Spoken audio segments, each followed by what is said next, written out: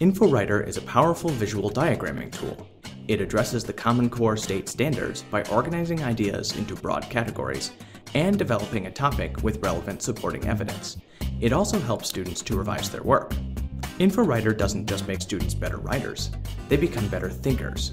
By using powerful ideas about thinking, like concept, definition, and evidence, students are able to understand and explain what makes great writing. Hi, I'm Shelby, and today I'm working on my science assignment about the American alligator. I've already written my first draft using the rubric to guide me, but before I submit for peer review, I need to finish mapping out my report in InfoWriter. I've done some work already.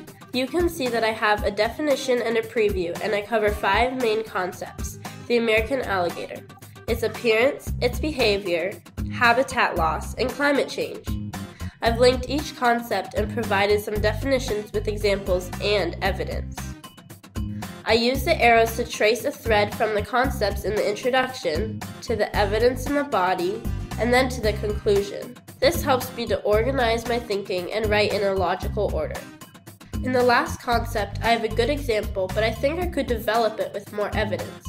Maybe I can find a quote or some statistics that show how much of the alligator's habitat has been taken over.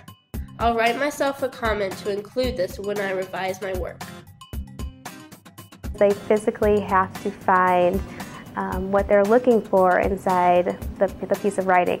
Um, if you had a student use this paper pencil, they would look at it and they would say, oh, it's there, and then they would move on. Where the InfoWriter, they, they have to definitely find the evidence, um, they have to find the ideas, and they have to interactively um, show the pieces um, within InfoWriter. I highlighted and I finished my entire thing and I would connect the arrows to all the different boxes of literary elements and I would read to make sure it all flowed together and made sense. And so if I noticed something didn't make sense, there was another tab straight within InfoWriter. I could go back into my text and fix it and I could edit it as I go along.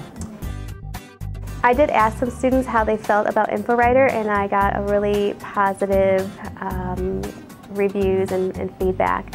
Um, the students said it really made them think about their writing and I could see them thinking as they were using it. Yeah, I know it helped me because I realized after I did this and made this flowchart that I needed to add a couple more things to my writing before I did my final draft and it really helped us to organize our writing and it would show us maybe we need a little bit more evidence or a better conclusion to it and it really helped to flow our writing and organize it.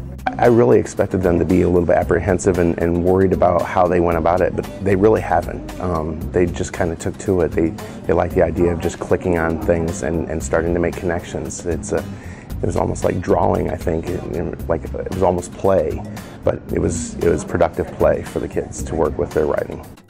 InfoWriter has an event timeline. This records the path students take as they create their concept maps. See how the bar at the top shows the order that Shelby followed as she mapped out her writing? It shows her thinking as she uses InfoWriter, and how well she understands the structure of an information report.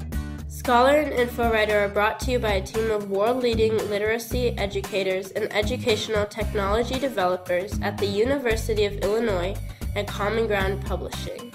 Scholar and InfoWriter work on any computer with an internet connection and a recent browser. No installation needed. Scholar and InfoWriter support learners to achieve the Common Core standards and give teachers tools to transform learning in their classrooms.